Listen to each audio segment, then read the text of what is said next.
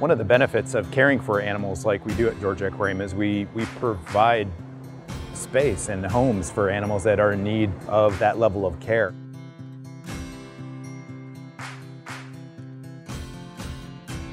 We've got our little male pup, Gibson. He's right at four weeks old, and I believe he's right around three kilos at this point in time, so about seven pounds. And then our girl, um, that's Mara, she is weighing in at a little bit over six and a half kilograms, and so she's quite a bit bigger, but they both are in great body condition.